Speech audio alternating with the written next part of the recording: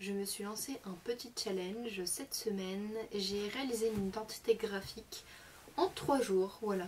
Et aujourd'hui on va voir tout le process de création et le résultat final évidemment. Dans une précédente vidéo je vous montrais trois expositions que j'avais été voir en janvier qui m'ont beaucoup plu. J'avais fait des photos et des vidéos, j'avais très envie d'aller un peu plus loin dans ma démarche. Et aussi surtout il me faut des nouveaux projets dans mon portfolio. Pour ça il faut que je montre du travail de qualité parce que mes projets scolaires ils sont tous claqués au sol, on va pas se mytho. Voilà, tout un tas de raisons qui au final m'ont poussé à faire ça en une semaine. La particularité de ce projet c'est que le sujet est déjà défini euh, par moi-même, c'est l'avantage. Je vais pas devoir faire tout le process de réflexion sur l'idée, le concept, euh, etc. Je vais donc me concentrer sur l'exposition Plastic Design Collection qui est présentée au Design Museum Bruxelles. Sauf que là je vais partir du principe que le Plasticarium est mon musée en lui-même. Ce sera beaucoup plus simple. Cette semaine j'ai donc fait l'identité graphique du Plasticarium. Pour rappel, ma mission est de transmettre des informations destinées à un public défini en faisant appel aux techniques et aux supports de communication qui correspondent aux enjeux. Mon projet doit attirer l'attention, créer de l'intérêt et pousser à l'action. Pour cette identité visuelle, j'ai donc utilisé des supports et des outils de communication différents.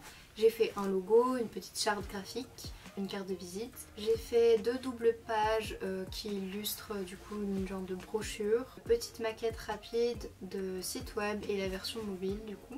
Et j'ai aussi fait des affiches. Dans un premier temps, ce que je vais faire c'est rassembler les informations que j'ai déjà. Donc là ça va être super rapide parce que j'ai pas grand chose. Je sais juste que le sujet c'est un musée d'objets design en plastique et je sais le nom, c'est le Plasticarium. Ce que j'aime bien faire ensuite dans mon process c'est rassembler des mots qui m'inspirent et qui vont vraiment m'aider à m'imprégner du sujet et à développer mes idées graphiques par la suite. Donc là j'avais plastique, design, meubles, PVC, moule, objet, couleur, production. Je claque tout un tas de mots sur papier et ça va vraiment vraiment m'aider. Une fois que je me suis vraiment bien imprégnée du sujet, je passe au moodboard. J'ai fait un moodboard assez rapide pour savoir vers quoi je me dirigeais. J'ai mis des objets design qu'on retrouve dans l'exposition euh, initiale, des inspirations graphiques, des inspirations typographiques, des couleurs aussi. Le moodboard il me sert vraiment à rassembler mes premières idées et à savoir vers quoi je me dirige. Après ça j'ai vraiment attaqué le projet avec la création de mon logo. Euh, là c'est vrai que j'ai fait un process un peu différent de d'habitude parce que d'habitude j'aime bien faire des croquis. Je savais directement que je voulais un logo typographique euh, d'une typographie que je n'ai pas créée parce que je ne suis pas typographe encore peut-être, je sais pas. Donc j'ai d'abord fait un tas de recherches de typographie que j'aimais bien et collé à mon sujet tout en respectant mon moodboard toujours. J'en ai sélectionné plusieurs et j'ai fait des premiers tests. J'avais envie de choisir une typographie, d'y faire des modifications et d'utiliser des lettres pour faire des éléments graphiques par la suite. J'ai commencé d'abord avec cette typographie là, je la trouvais assez sympa. J'ai carrément décomposé le mot, je les ai mis sur deux lignes et j'ai assemblé deux lettres je me suis rendu compte qu'il y avait peut-être une piste assez intéressante à développer avec le P et le A. J'ai commencé à créer des chaises et des meubles à partir de ces deux lettres là. Euh, je trouvais qu'il y avait une chaise qui était assez intéressante visuellement mais j'étais pas super convaincue honnêtement.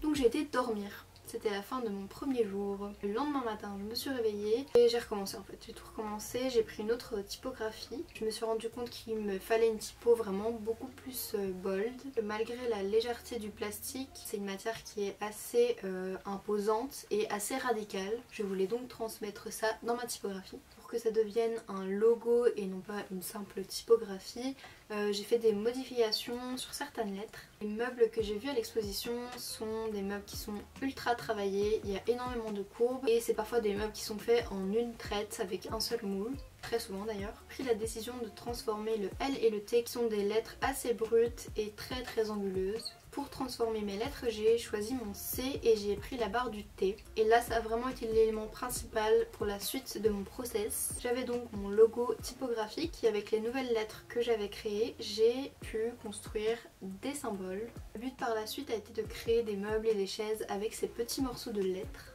Donc là, je me suis clairement amusée à faire un travail de composition et au final j'ai gardé celle-ci. Après ceci j'ai fait un travail de recherche au niveau des couleurs. J'en avais sélectionné plusieurs et au final j'en ai gardé euh, trois il me semble. Le premier support de communication que j'ai fait ce sont les cartes de visite.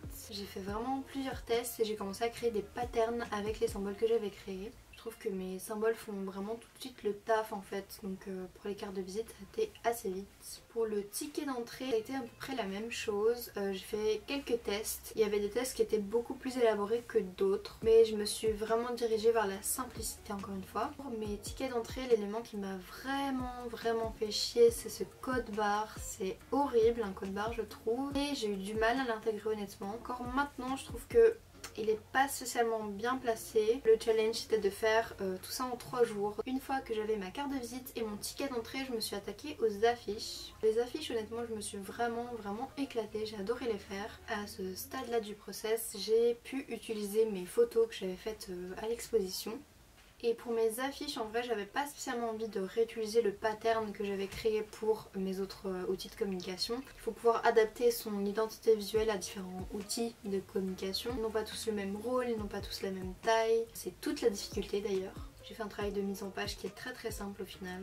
Je ne suis pas du tout UX designer, je laisse ça aux autres, mais j'ai quand même fait une petite maquette assez simple de site web et j'ai aussi fait une version mobile. Je me suis tout simplement amusée à utiliser la lettre R. J'ai fait une version pleine de cette lettre et j'ai mis mes photos à l'intérieur. Ça crée tout de suite un lien avec l'identité visuelle justement. Voici le résultat final avec tous mes petits mock-up, euh, les couleurs, etc. Honnêtement, pour un challenge qui aura duré 3 jours, je trouve le résultat assez euh, satisfaisant. Je suis euh, contente d'avoir ce nouveau projet dans mon portfolio. Je suis aussi contente d'avoir filmé tout le process et d'en avoir fait une petite vidéo. N'hésitez pas à me donner vos avis en commentaire, je serais assez curieuse de savoir ce que vous en pensez.